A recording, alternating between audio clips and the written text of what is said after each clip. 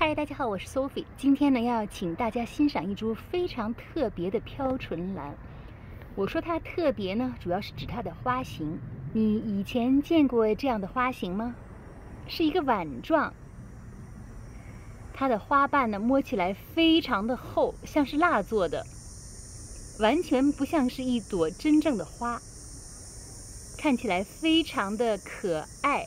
像是一个张大嘴巴的青蛙在哈哈大笑一样。花朵本身呢也很大，直径有七八个厘米吧，真的是一个小碗啊，很可爱吧？同时呢，它也很香，是薄荷的味道。很遗憾，只有一朵花。这是它的名字。有一点难，我就不念它了。是获奖的兰花，它是我在去年冬天呢才得到的。它之前的杆子呢还是蛮大的，这个新杆子呢发芽是在差不多也就两个多月之前吧。它还长得很小，就开始长这个花芽了。我其实是蛮惊讶的。它一直呢是放在室外的。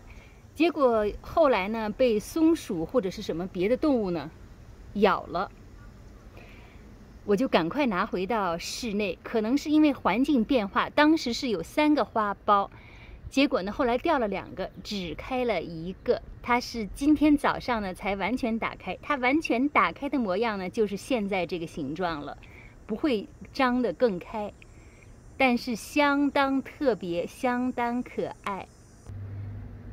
我在网上看到的照片呢，有人把这株飘唇兰呢种出来，花呢有长长的一串，十几朵、二十朵，特别特别的壮观。希望我的这一株呢，明年呢能达到那个效果。呃，不是没有可能的。你看旁边的这一株，上一次开花的时候呢是二十几朵。开完之后，立刻呢就又开一朵，一支，这一支呢只有十三朵，但是看下面，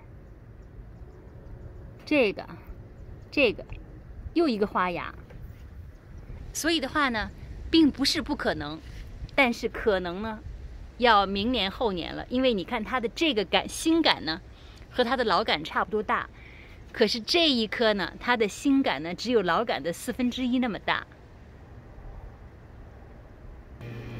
天鹅兰、飘唇兰一类呢，眼下是我比较喜欢的一类兰花，因为它们呢很容易，生长期呢比较短，应该说半年左右吧。在这个生长期内呢，大肥大水，阳光充足，它就能长得非常大，长得非常快。和其他的兰花的区别呢非常大，其他兰花呢相对来说呢要长得慢很多。那花期过后呢？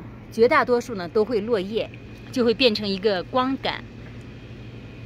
在它是光杆的时候呢，可以不用管，不用浇水，不用施肥，放在一边就可以了，直到新芽呢重新长出来。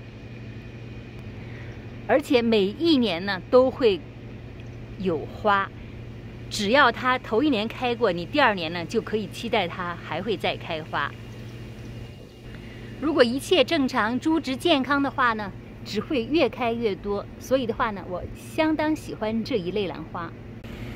眼下天鹅兰、飘唇兰一类的兰花呢，我用的都是水苔，因为它在积极生长期呢，对水分的需求呢非常高，而且呢这段时间呢一直是保持湿润。至于肥料呢，你可以加一些缓释肥啊，或者是均衡肥啊。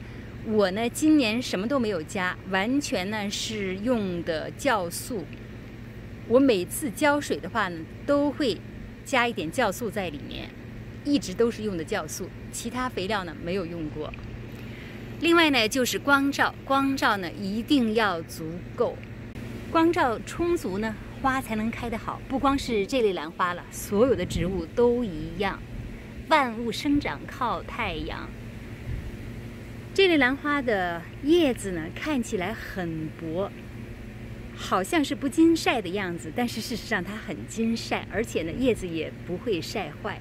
当然啦，当你把它从室内搬到室外的时候呢，晒太阳一定要循序渐进，否则的话呢，一开始的几天呢，肯定是很容易晒伤的。基本上呢就是这样了。这就是我今天呢想给大家介绍的这一株美丽独特的飘唇兰。喜欢我的视频呢，请你点赞；希望看到我更多的视频呢，请你订阅我的频道，谢谢。